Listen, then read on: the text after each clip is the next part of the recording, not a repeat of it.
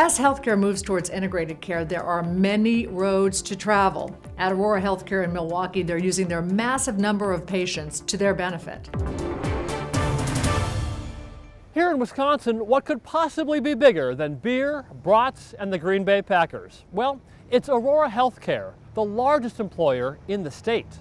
A few years ago, Aurora faced a huge challenge how to leverage the scale of Aurora's 5 million patient visits per year while integrating Aurora's 30,000 caregivers and its far flung 15 hospitals, 160 clinics, and related home health care facilities and pharmacies throughout eastern Wisconsin. We had the components early on, we had the clinics, the hospitals, the pharmacies, but it was they were all very siloed moving towards the fully integrated vision, we needed to put these components in place to get to a fully integrated model. And that, I think, is where we are now. And being there affords us the ability to take care of the patients in a way that we weren't able to do when we were beginning our journey. They figured the best way to start was to mine the data of all those patients, and from that data, figure out how to make healthcare more streamlined, more cost effective, more value based and most importantly, better for patient outcomes. They came up with a predictive analytic program and ran a heart failure and COPD pilot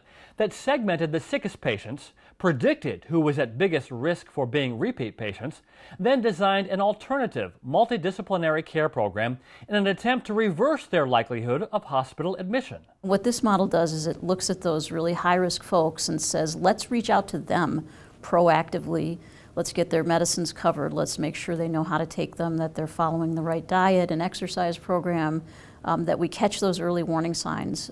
And it worked. In one year, Aurora saw a reduction in the admission of heart failure patients by 60% and all cause admissions by 20%. And that doesn't mean less business for Aurora.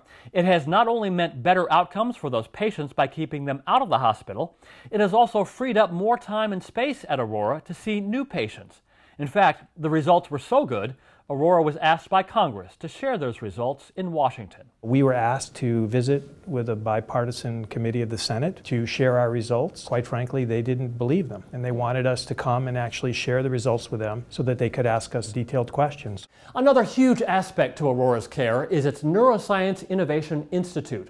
Only a year old now and already getting national attention. Neurosurgeon Dr. Kassam designed the institute. He calls it a nimble, forward thinking group that uses technology to weave together three verticals innovation, clinical, and education. He views his team of doctors like a pro football team that watches film and goes through walkthroughs during the week and then springs to action on game day.